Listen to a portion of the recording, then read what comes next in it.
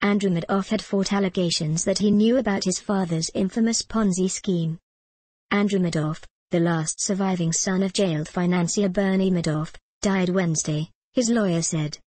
He was 48 and had been suffering from lymphoma, CNBC reports. Martin Flumenbaum, a longtime attorney to the Madoff sons, told CNBC that Andrew Madoff died peacefully, surrounded by family, at Memorial Sloan Kettering Cancer Center in New York City.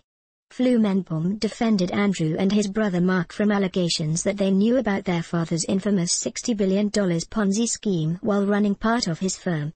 The sons declared themselves to be shocked by their father's crimes, and were the first to tip off federal investigators in 2008.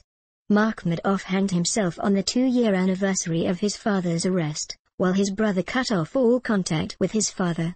Bernie Madoff is currently serving a 150-year prison sentence.